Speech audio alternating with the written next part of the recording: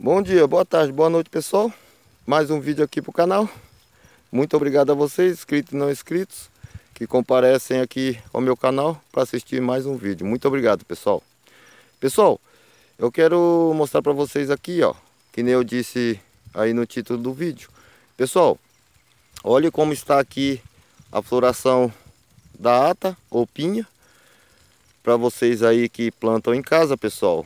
Dizendo uma coisa que adubação correta, ele vai florar o ano inteiro. Estão vendo aí, pessoal? Olha aí os brotos, os brotos novos já estão chegando, ó, e todos já com a sua flor. E para quem não sabe, pessoal, a pinha ou ata, ela só começa a dar flor nos seus brotos novos, tá bom? Nos velhos não e dá mais flor. Aí, pessoal, como vocês já viram aí, eu já tinha colhido aqui, pessoal, ó. Olha aí para vocês verem as flores. Estão chegando, ó. Aqui também. Aí todos já estão chegando, pessoal. Tem 12 dias que nós adubamos aqui, ó. Olha as flores como estão verdes. Estão verdes, ó. Foi jogado nitrogênio, potássio e fósforo. Foi jogados em todos, pessoal, em volta. Olha aí, que ainda se encontra aqui o fósforo. O fósforo é o único nutriente, pessoal, ó, que não dissolve. Ele é lento e é bom para o seu para as suas raízes e seus frutos, tá bom? É ele que faz a frutificação. E o potássio todos também já sabem também, né, pessoal? Se assistiram meus vídeos aí, que ele ajuda muito no caule e na raízes e na água, para a planta absorver água. E o nitrogênio, todos sabem que é para as folhas. Aí todos assim, pessoal, ó, já está frutificando, ó. Olha aí o tanto de, de flor que está vindo neste galinho, pessoal, ó. Estão vendo? Esse daqui vai segurar um ou outro, pessoal, porque a planta também descarta qual que não vai não vai prosseguir na sua frutificação, né?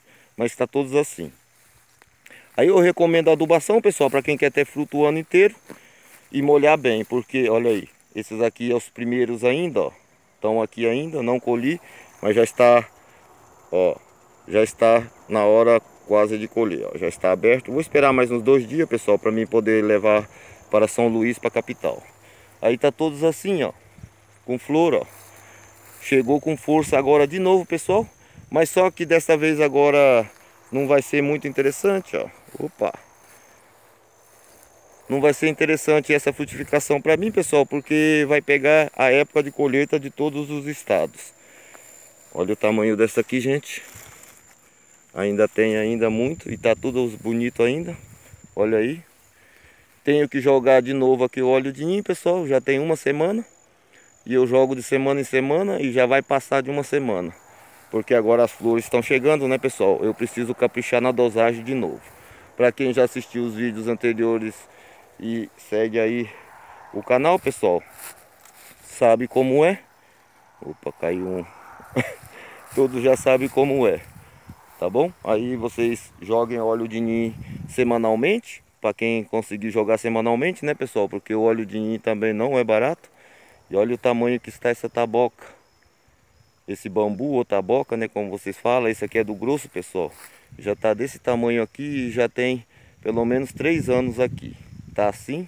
Espero que ele cresça rápido porque eu preciso das, dos bambu para mim poder fazer a horta de pepino.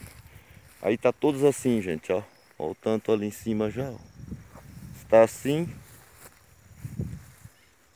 E aqui também, ó. As flores todas aqui, ó. Agora essa daqui, é, olha aí, pessoal. Não vai focar. A câmera hoje não quer trabalhar. é difícil, né, gente? Mas tá todos assim, ó.